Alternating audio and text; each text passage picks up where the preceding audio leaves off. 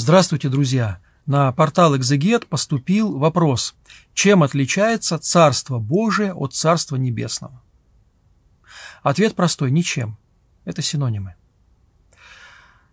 Евангелист Матфей предпочитает говорить о Царстве э, Небесном, тогда как евангелист Лука говорит о Царстве Божьем.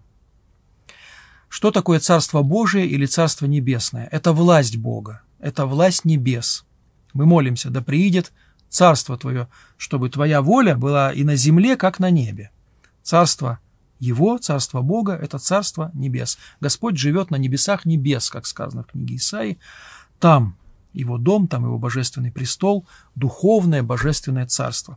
И вот мы, когда молимся, хотим, чтобы его воля Божья исполнялась на земле так же, как она исполняется на небе чтобы никто не противился его божественной воле, и чтобы это божественное правление, это царство Бога, оно пронизывало и наполняло собой все, и чтобы не было ничего и никого не подвластных этому Божьему царству. И такое царство, конечно же, наступит. А, этому царству не будет конца. Это царство провозглашает и проповедует Христос, начиная свою проповедь. Иисус Христос. Это царство проповедуем и провозглашаем мы, христиане. Мы живем надеждой на установление этого царства. Мы молимся об этом будущем царстве на каждой Евхаристии, на каждом богослужении. Мы провозглашаем это царство, называем его благословенным, благословляем это царство. Мы молимся о наступлении этого царства.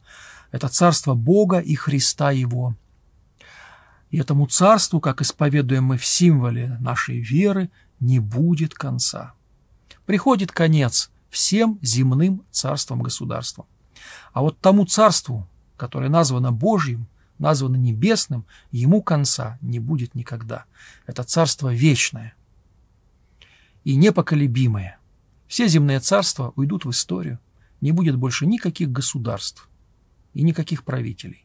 Будет одно царство, Царство Божие и один правитель, сам Господь, Бог, и будет царствовать, и царству этому не будет конца. Мы уже, христиане, подданные этого царства. Мы уже в крещении получили это небесное Божье гражданство, гражданство в этом царстве.